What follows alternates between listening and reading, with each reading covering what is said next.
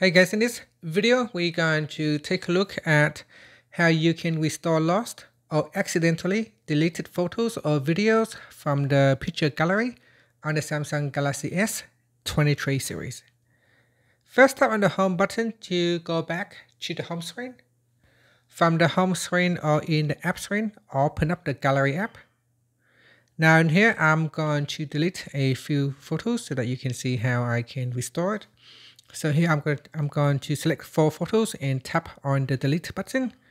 Now I'm going to move it to trash so it has been removed and deleted. Now to restore those images, tap on the menu key, then tap on trash. From here tap on edit and select the photos that you want to restore and then tap on restore all or simply restore the selected photos. So tap on the restore button at the bottom here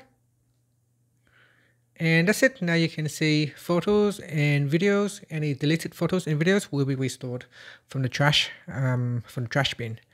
And that's it. Finally, you can tap on the home button to go back to the home screen. Thank you for watching this video. Please like and subscribe to my channel for more videos.